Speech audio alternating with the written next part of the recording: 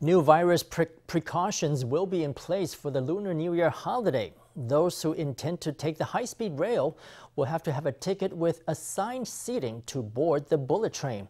And Taiwan Railways Administration will cap the number of standing tickets on each of its trains. However, no restrictions have been placed on the use of electronic cards like the Easy Card. Some are wondering if this will lead to a loophole in Taiwan's COVID defenses.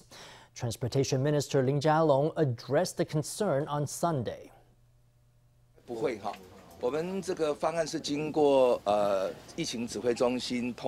It shouldn't lead to a loophole.